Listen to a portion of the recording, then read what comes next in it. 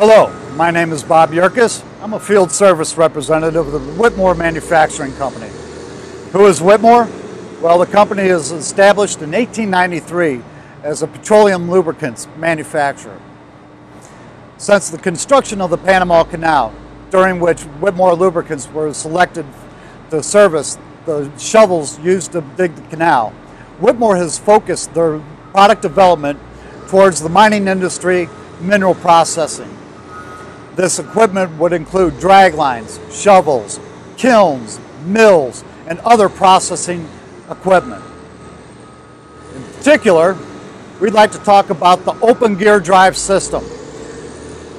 This is the most critical asset of this kind of equipment and take very special lubricants. So, let's begin the introduction.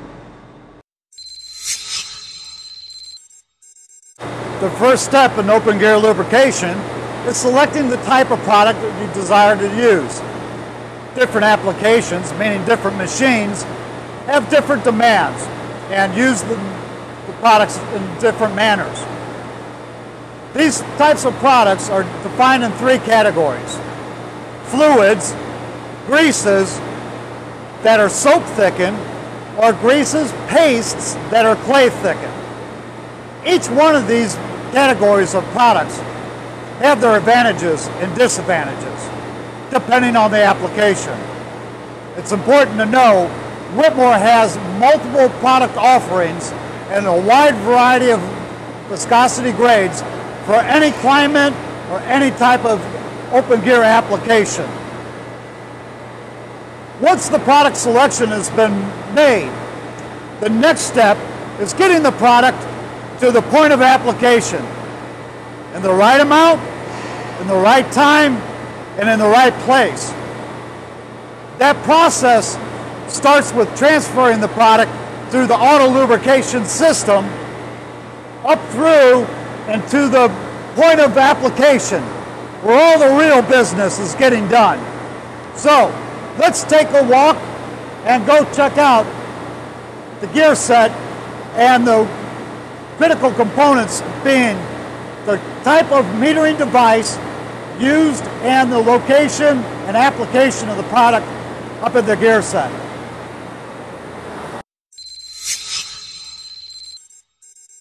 Here we are up at the ball mill uh, unit and what we're going to look at next of the auto lube system is the type of metering device. There's three basic types of auto lube systems. They're defined as dual line, parallel, and progressive. Each works and functions a little bit differently, but essentially they're devices used to apply a specific volume of product per shot. In the case of ball mill lubrication, because the OEMs prefer the product to be applied for one or more continuous rotations of the gear with the progressive system is the type of system most preferred.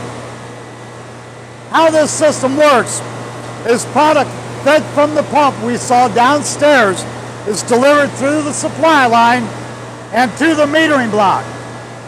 This block is made up of multiple valves. Each valve is servicing a spray nozzle that ultimately is going to apply the product. The way this valve works is it continuously fires from one nozzle to the next until it gives an indication to shut off. What we use as that indication is a counter. So each time this particular valve fires, we get a count. We have a total number of counts cycled and then we stop the auto lube system. So, let's take a quick look at the system controls. There are devices that actually control the function of the auto system. The first is a timer that is used to determine the cycle frequency.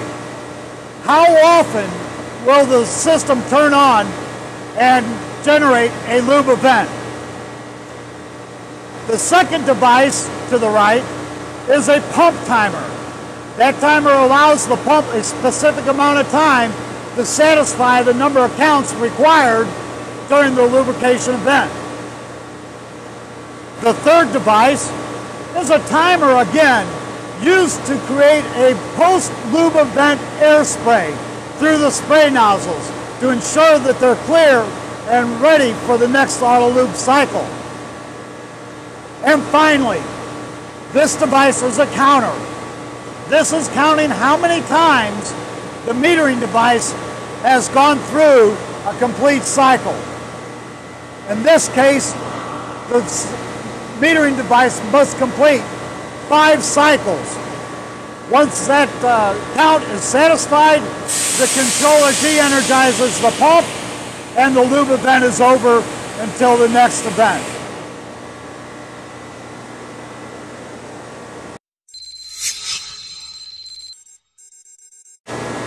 Again, the metering device, based on count, stroke count, determines the volume of product that's going to be applied during the lube event. In order to get the product actually onto the gear set, we have a preference to spray the product. And we can see here, mounted in the gear cover, four separate spray nozzles. Each nozzle dispenses a cone pattern.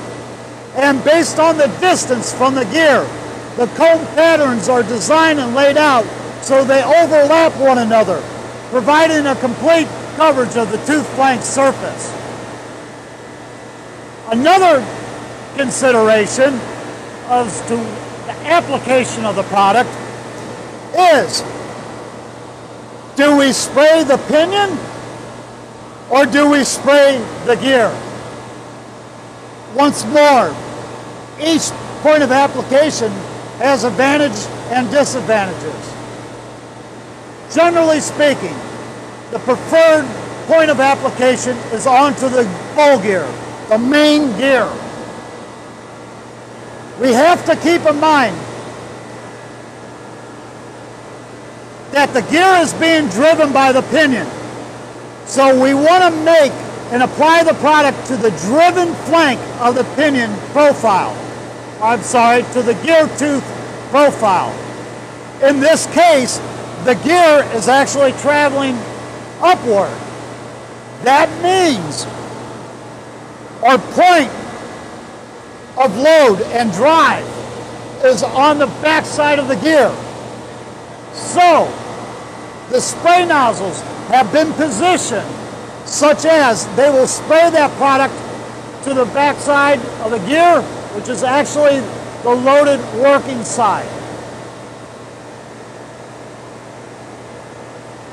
While we're here, we'll go back and take a quick look at the type of product in use. Again, in this application, the customer chose to use a fluid lubricant.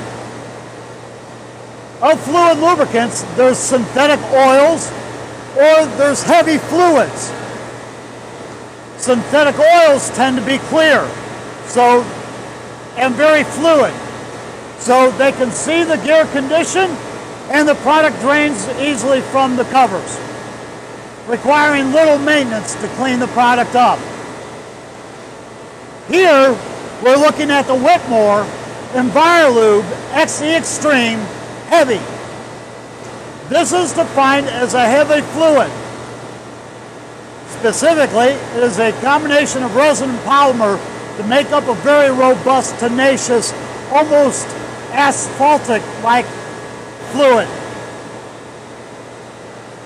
The advantage of this product is, while it is semi-translucent, we can see the product coverage across the tooth flanks and be able to identify if there's any deficient point of application should any one of our spray nozzles or metering devices fail.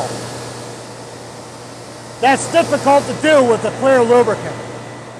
And yet, even with its dark tone, we can still see the critical condition of the gear set without having to remove the product. One last point is even though it looks very thick and heavy, this product will continue to slump off the gears and off the covers. Just not as fast as a light oil, but it does re requires very little, if any, maintenance to come in and remove the spent over lube. So, again, open gear lubrication begins with product selection, fluid, soap grease, clay paste. The next consideration is the type of auto lubrication. Because of the desire to apply the product for continuous rotation of the gear, the progressive type auto lube system is the preferred choice because of its functionality. Lastly, getting the product to the right place. And we see here where that's very well represented. And finally, we want a product that's maintenance free. Thus the selection of the uh, heavy fluids. This product's going to go ahead and while providing a good, heavy, robust film for wear protection, it does naturally drain out of the, the system. So, we're going to wrap up and go meet a, our host and another key business partner in the process. At this point, we'd like to thank and acknowledge a couple of gentlemen who's been a big part of this process and enabling us to conduct this video today.